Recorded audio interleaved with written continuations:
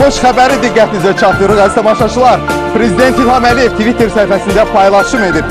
Paylaşımda deyilir, bugün Azərbaycan ordusu Cəbrayıl şəhərini və rayonun bir neçə kəndini işğaldan azad edib.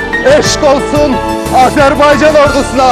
Qarabağ Azərbaycandır.